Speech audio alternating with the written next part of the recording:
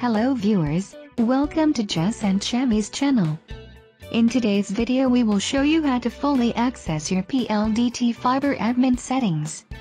This is working as of July 15, 2019, with the router software RP2631. For this type of router. So sit back and take notes. But before I start, make sure to subscribe to our channel and don't forget to click the notification bell to be notified of new videos and new updates. It will really be a big help to us. Thank you!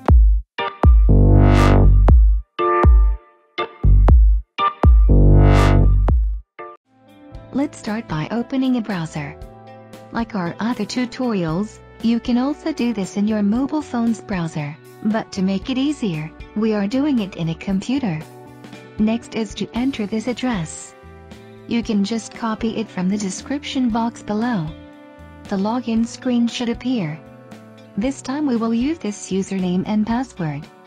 It is also in the description box below.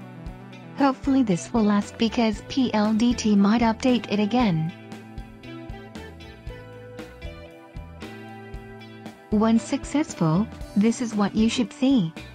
You will see here the Restore All menu, and Debug Switch menu.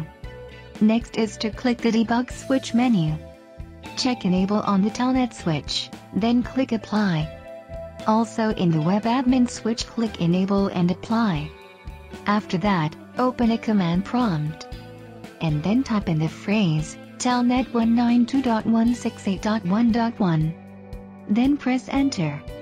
And if you receive this error, go to Control Panel, and search Features in search bar then click Turn Windows Features on or off. Then on this window search for Telnet Client, and put a check on it, then click OK.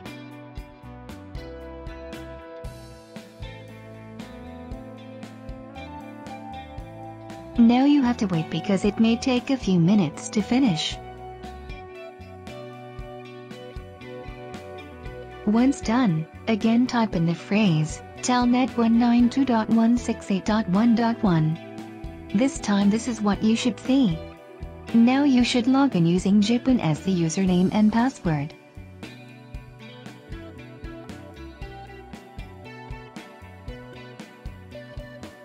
Once user appears, type in enable and click enter.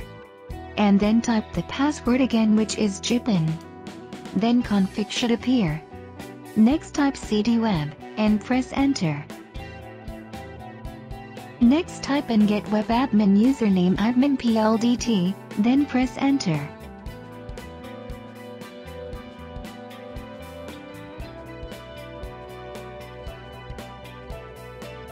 And there it is! It is the password for accessing the full admin settings. Okay. Put this in a notepad to make things easier.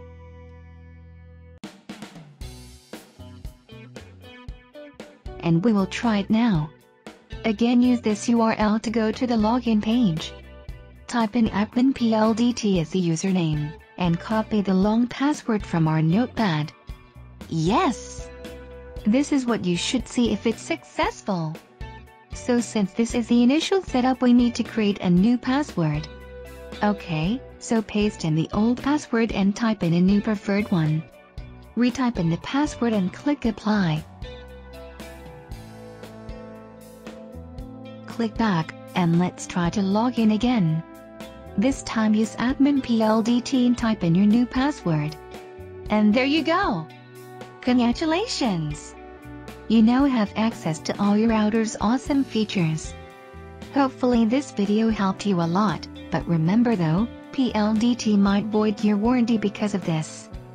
Nevertheless make sure to subscribe to our channel. Hit the like button as well, thank you very much! If you have questions comment it down below or reach us through our Facebook page Jess and Chammy's Tips. Thank you again! Bye!